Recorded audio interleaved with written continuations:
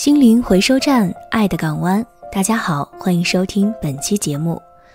去看樱花的路上，康成的手机响了，一听就是微信消息提示音。因为开着车，康成没有看，许佳慧也不让看，车上还有他们快两岁的女儿呢，安全第一。但是没一会儿，手机又响，接着也就是十多分钟的功夫，陆续响了三次。康成忍不住去拿触手可及的手机，许佳慧制止了他，自己拿起了手机。他的指纹能解锁，手指一刷解了锁，然后就看到了那三条来自康成的弟弟康强的消息：我的房租到了，去交房租，得先交半年的八千。凯凯疝气，过几天要做手术，我感冒了，拿药也得花钱。我手里总共还有二十一块钱了。你先给我转两万块钱吧，凑个整数。许家辉看着这信息，一边怒火升腾，一边想着怎么让康成看不到这些信息。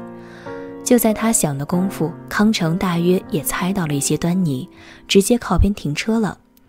许家慧没有删消息，删了没用，一次不成，康强还会发，这是他一贯的作风。康成看到消息，脸一沉，许家慧忍不住说。这次绝对不能给他了，他没钱和咱们有什么关系？凭什么咱们挣的钱给他花？康成叹了口气，没说话，把手机放回原处，重新开车。虽然康成没有直接转钱给他弟，但是许佳慧再也没了赏花的兴致，因为他知道，按照以往的习惯，只不过是早一点、晚一点的事儿罢了。康成总是无法拒绝他的家人。满眼绚烂的樱花抵挡不住许佳慧内心的愤怒，原本浪漫的樱花之旅一下子变得索然无味，草草结束，返程。虽然许佳慧什么也没说，但是康成能感受到他的愤怒。一路上，许佳慧强忍着不提这事儿，终于在康成把车开进自家车库时，他忍不住爆发了：“康成，我把话撂这儿了，这次说什么我也不同意。”说着，他把康成的手机拿过来，把里面的钱都转到了自己的账号里。他知道，但是制止他根本制止不了康成，多少次了都这样。许佳慧真不明白，他怎么就遇到了这么奇葩的一家吸血鬼，都盯着康成那点工资不放。康成的家里有公婆、小姑子和康强一家。自打他和康成结婚后，他们商量好了似的，轮番找康成要钱。要钱的名目也是层出不穷，小到一贴膏药，大到住院掏钱、住房掏房租。先说康成他爸，患糖尿病三年，从检查到用药全是康成掏的钱。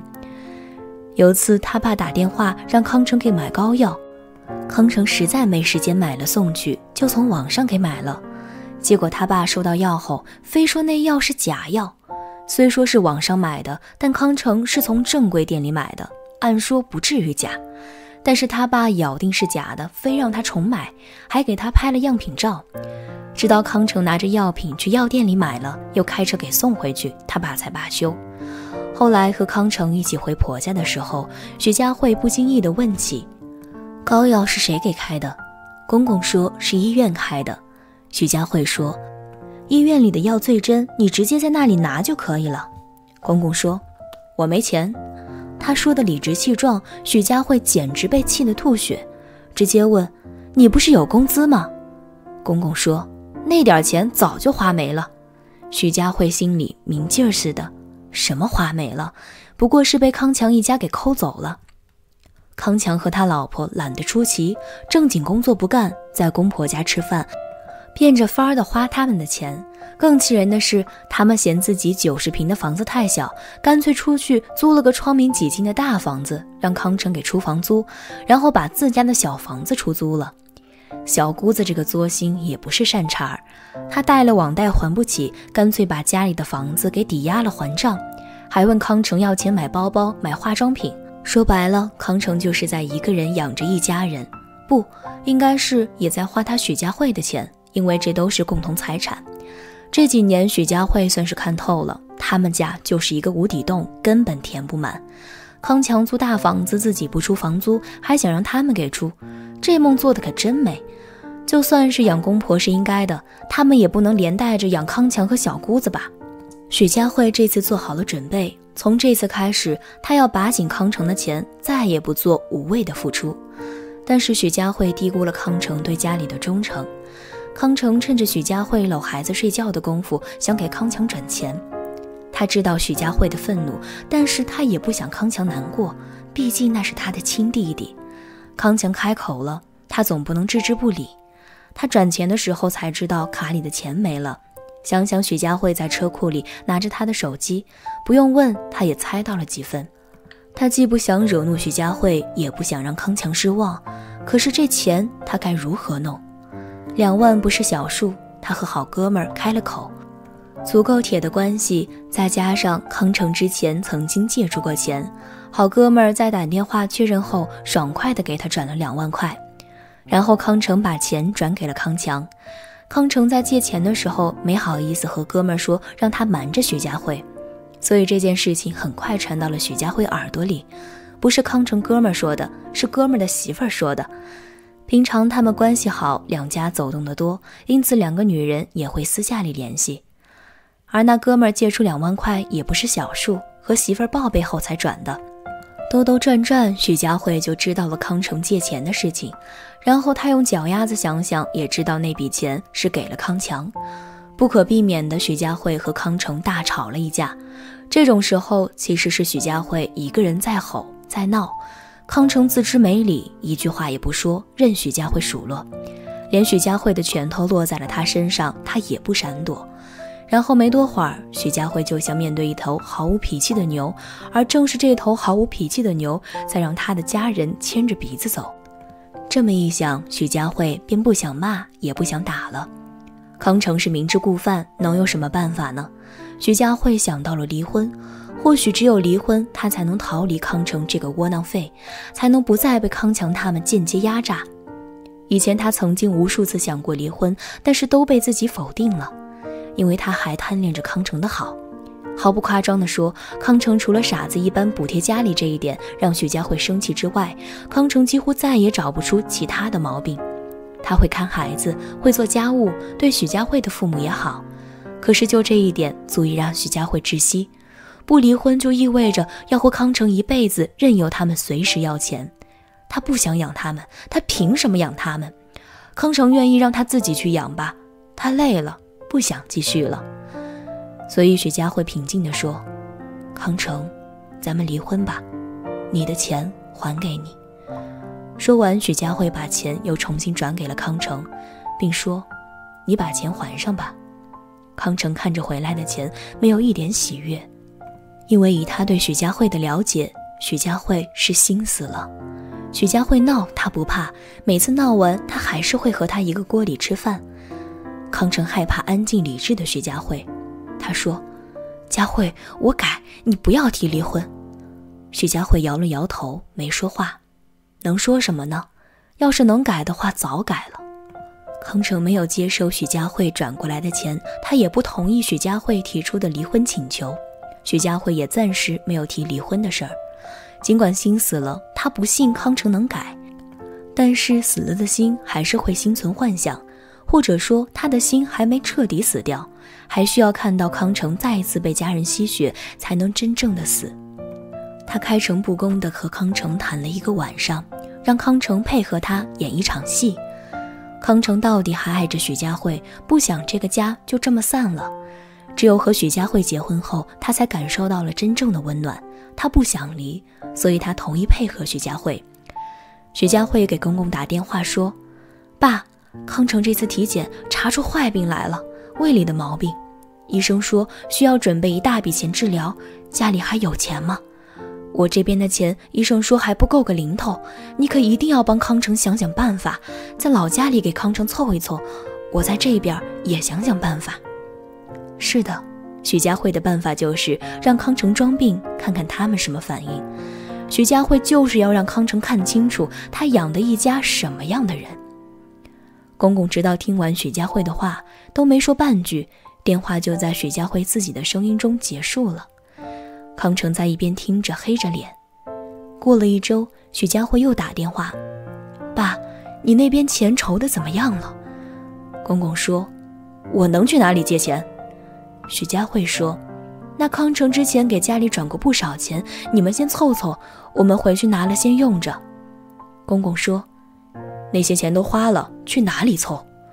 许家慧再说：“等康成手术的时候，你和妈过来帮忙照顾吧。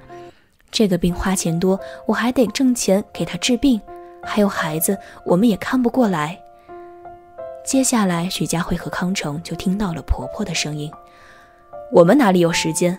你们自己想办法吧。真的是，得个烧钱的病，还以为能多沾点光呢。虽说是假的，但他妈这态度的确伤到了康成。更让他没想到的是，过了些天，他妈居然打电话让他回去，说要有大事要宣布。许家慧当然带着事先搞到的检查单之类的回去，以防万一。结果回家以后，事态发展，就连聪明的许家慧都没有想到，家里的人很多，除了家人，还有几个本家亲戚，另外两个人连康成都不认识。他爸看了一眼康成，说：“有件事情我也该公开了。二十六年前，你的亲生父母意外去世了，你奶奶怕养不了你，托人领养你，我和你妈就领养了你。后来我们又有了康强和康丽。”康成被这一个消息炸懵了，更让他懵的是，紧接着从他爸嘴里说了出来：“我们养你一场，你是时候认祖归宗了，咱们的父子缘分也到此为止了。”康成这才听明白，他爸这是在和他解除收养关系。结合电话里婆婆说的话，徐家慧也完全听明白了，他们这是甩包袱呢。他们怕康成这个病连累到他们，他们这是早就商量好了。那两个陌生人是康成他爸请来的证人，几个亲戚是见证人。就这样，康成麻木的签字画押，完全在他爸单方面的操作下完成了身份的转变。许家慧倒是拿起协议看了下，除了关系解除了，两不相欠，并没有对康成不利的地方。看来他们是真的急于甩掉康成这个病秧子了。徐佳慧开车回的家，一下子这么多事情，康成根本消化不了。徐佳慧整整陪了康成两天，他又和康成的一个表姑联系了下。康成这个表姑一直待康成很好，和许佳慧也一直来往，当然没有提康成装病的事儿。康成他表姑这才知道他的身份已经被公开，他又专门去找了一趟康成他爸，结果康成他妈说：“真是倒霉催的。”本指望把他养大了，挣点钱花给我们养老，谁知道他自己得了烧钱的病，我们还留着干嘛？表姑没说别的，别人的家事他也不能掺和，他直接去了康成那里。